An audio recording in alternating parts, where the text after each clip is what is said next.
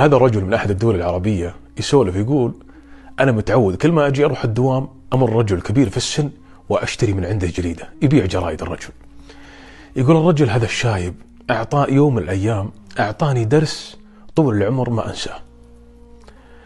أي يقول مرة من المرات يوم شريت من عنده جريدة سألته قلت كيف الحال يا عم؟ قال أبشرك بخير. والله إني في نعمة الستر. استغربت قلت ليش حددت بحد... ليش حددت الس- الستر بالذات يا عم؟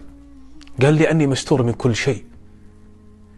قلت معليش بعض الكلام ممكن يجرحك يا عم لكن ودي أفهم أنا م- مستور من أي ناحية؟ ملابسك مرقعة وكل رقعة لون. قال يا ولدي الستر أنواع. الستر أنواع. يا ولدي يوم تكون مريض لكنك تقدر تمشي على رجلينك وتروح وتجي فهذا ستر من مذلة المرض. ويا ولدي لو في مخباك مبلغ بسيط يكفيك لين تنام وأنت شبعان فهذا ستر من مذلة الجوع.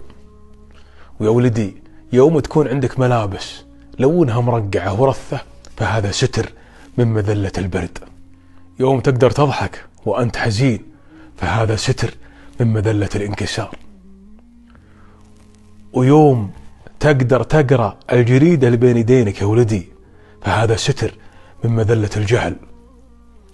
ويوم تقدر تتصل على أهلك وتطمن عليهم من حين إلى آخر فهذا ستر من مذلة الوحدة. ويوم تكون عندك وظيفة أو مهنة بسيطة ولو بايع جرايد تمنعك من مدة يدينك فهذا ستر من مذلة السؤال. ويوم الله يبارك لك في زوجتك وعيالك ويوفقهم فهذا ستر من مذلة القهر. وتذكر يا ولدي إنك تملك من النعم ما يتمناها ملايين البشر من الناس وهي نعمة الستر.